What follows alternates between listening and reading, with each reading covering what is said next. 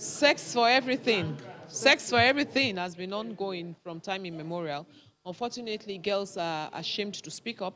Unfortunately, some girls have also encouraged it because of their laziness. They are not ready to read their books. So it's easy for them. And so some of them even entice these men. But that is not an excuse because any lecturer, you know, should not be found in such um, a situation with any of his um, students, should not be seen sleeping with his students for marks and all of that. But it, it's something that's been going on unreported and um, we need to do something drastic about it. I'm believing that this one would also be um, prosecuted. And um, if he's convicted, of course, his name will go into the register, just like the name of the other um, lecturer, to serve as a deterrence to other lecturers who cannot um, remove their eyes from the young, beautiful students who they are supposed to be teaching and um, grooming to be useful citizens of Nigeria.